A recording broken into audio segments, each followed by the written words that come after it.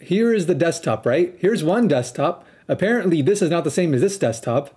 So I go on this desktop, and it also shows my desktop items. And I'm like, okay, so apparently my PC is inside my desktop folder. That makes so much sense. Let me go in here. So what's in my PC folder? Oh, it's my desktop folder. So what's in what? I don't How did you understand. make it do that? No, that's how Windows File Explorer works, bro. And it's showing me the, the local drives. Bro, the desktop thing should be inside my main local drive. I don't understand like what the hell its problem is.